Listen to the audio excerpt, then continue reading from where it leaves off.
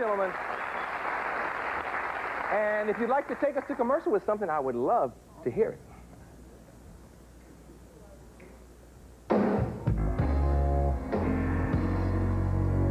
They are not just gangs of kids anymore. They are often the kinds of kids that are called super predators. No conscience, no empathy. We can talk about why they ended up that way, but first we have to bring them to heel.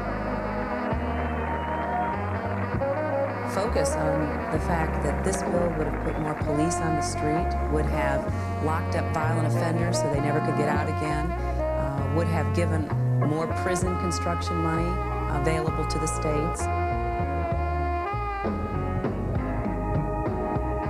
I think that uh, everybody is in favor of free and fair trade, and I think that uh, uh, NAFTA is proving its worth. NAFTA was a mistake to the extent that it did not deliver on what we had hoped it would.